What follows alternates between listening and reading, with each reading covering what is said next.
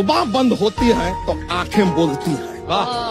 सुबह बंद होती हैं तो आँखें बोलती हैं। आँखें बंद होती हैं तो धड़कने बोलती हैं। धड़कने बंद होती हैं तो साँसें बोलती हैं।